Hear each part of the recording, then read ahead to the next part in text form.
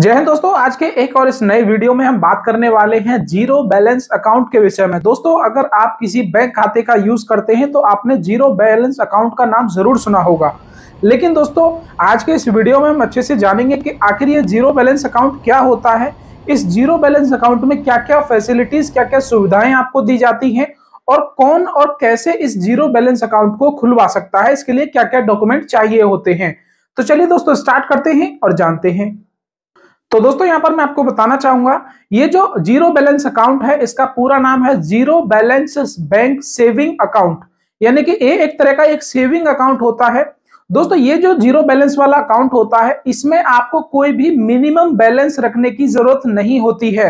इसको हम ऐसे समझ सकते हैं कि जब भी आप अपना कोई नया बैंक खाता खुलवाने जाते हैं तो आपसे एक पैसा यहाँ पर अमाउंट लिया जाता है कि आपको अगर खाता खुलवाना है तो आपको इतने रुपए यहाँ पर बैंक को जमा करने होंगे। वो एक हज़ार हो सकते हैं, वो दस हज़ार भी हो सकते हैं। वो बैंक टू बैंक वेरी करता है अलग अलग बैंक पर डिपेंड करता है। तो उस समय जो पैसे आपसे लिए जाते हैं, वो मिनिमम बैलेंस के तौर पर पैसे लिए जाते हैं, यानी कि उतने पैसे आपके अकाउंट में हमेशा रहने चाहिए। अगर आप उन पैसों को निकाल लेते हैं तो आपको फिर पेनल्टी या चार्जेस पे करने होते हैं।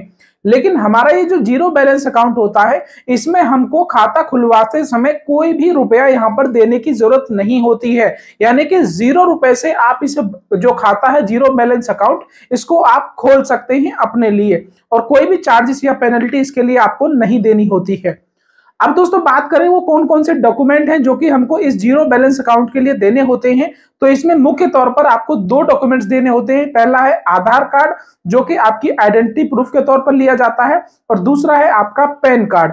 दोस्तों, अगर आपके पास पैन कार्ड नहीं है तो इसकी जगह पर आप फॉर्म सिक्सटीन को भर सकते हैं। इससे आपका काम हो जाएगा। दोस्तों, इसी के साथ आपकी उम्र 18 साल से प्लस होनी चाहिए और आप एक इंडियन यानी कि भारतीय नागरिक होने चाहिए।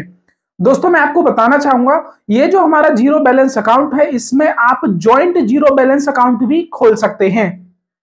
अब दोस्तों, बात करें कि इसके अंदर हमको कौन कौन सी वो सुविधाएँ हैं जो कि मिलती हैं अगर आप इस बैंक अकाउंट को खोलते हैं। तो सबसे पहली सुविधा मिलती है आपको इसके अंदर पासबुक और चेकबुक के जो फीचर्स हैं, वो यहाँ पर आपको मिलते हैं। इसके अलावा आपको डेबिट कार्ड या फिर एटीएम कार्ड का जो फैसिलिटी है, वो भी यहाँ पर आपको दी जाती है।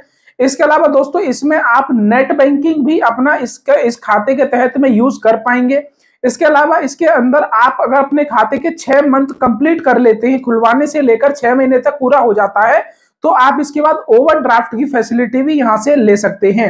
इसके अलावा बैंक में जाकर अपने लिए एक लॉकर फैसिलिटी भी इसके तहत आप ले पाएँगे। इसके अलावा आरटीजीएस और एनईएफटी जो पेमेंट जो ट्रांसफ़र हमारे सिस्टम है, उसको भी आप इस बैंक खाते के तहत यहाँ पर यूज़ में ले सकते हैं। तो ये कई सारे फीचर्स हैं, सुविधाएँ हैं, जो कि आपको एक ज़ीरो बैलेंस खाते के तहत यहाँ पर दी जाती हैं। अब दोस्तों हम बात करें, इसके अंदर कुछ लिमिट्स हैं, यानी कि कुछ लिमिट पहले से बनाई गई है इस खाते को यूज़ करने वाले लोगों के लिए।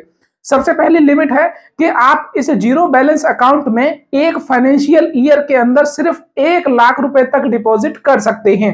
अगर आप इससे ज़्यादा का अमाउंट इसके अंदर डिपॉजिट करते हैं तो आपको अपनी कंप्लीट केवाईसी बैंक को जाकर करानी होगी और इसको एक नॉर्मल सेविंग अकाउंट में बदलना होगा।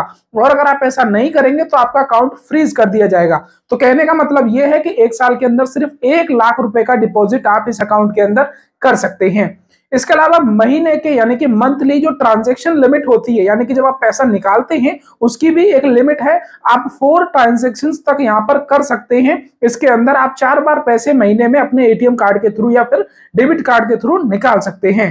दोस्तों, और ऐसी जानकारी भरे वीडियोस को देखते रहने के लिए हमारे इस यूट्यूब चैनल को अभी सब्सक्राइब करें।